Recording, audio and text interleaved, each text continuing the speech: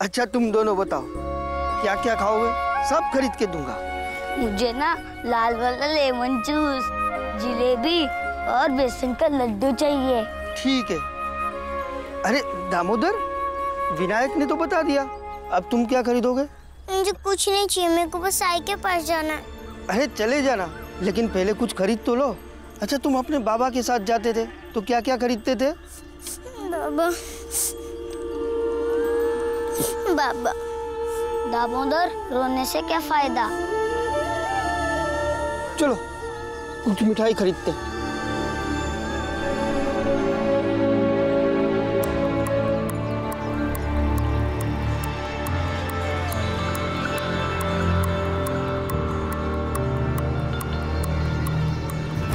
माँ जी आप लोगों के लिए खाना लाई हूँ। खा लीजिएगा। मैं आके बर्तन ले जाऊँगी। देख गंगा।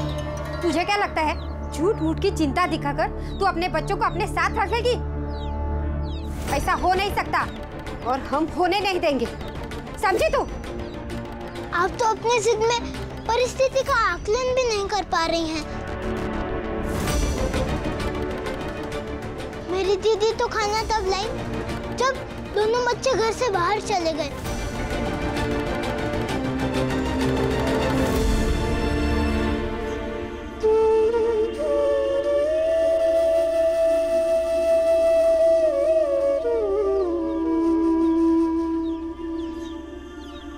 अब खा लीजिए खाना।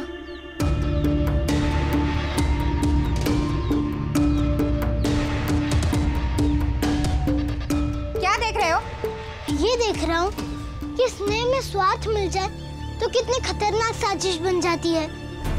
मैं जानता हूँ कि आप विनायक और दामोदर के दादा दादी हैं। इसलिए मेरी दीदी अपने बच्चों से जितना प्रेम करती है उतना ही आप अपने पोतों से प्रेम करते होंगे।